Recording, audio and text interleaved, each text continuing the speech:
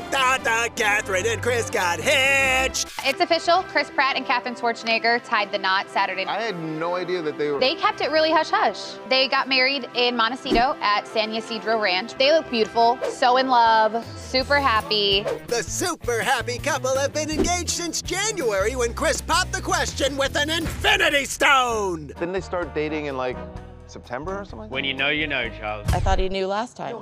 Uh, we're just gonna leave that there and get back to all the weekend wedding details.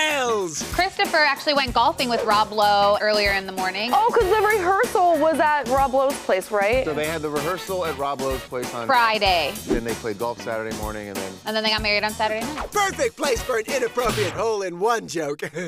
but we're afraid of Arnold, to be honest. It was a very heavily secured area. She was heavily covered with umbrellas. Her security was trying at every angle to make sure she wasn't seen. But we did get a peek, and the bride looked stunning in a custom-made Armani dress. The train was huge. Well, the train's obviously detachable. Wait, the train's detachable. Yeah, so she can take it off and then go to the reception. They Velcro off? You think she has a Velcro oh, train?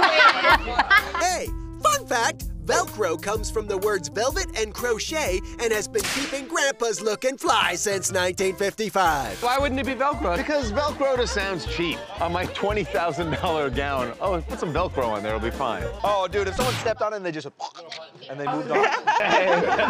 Congrats on the nuptials, Chris and Katherine. We hope you always stick together.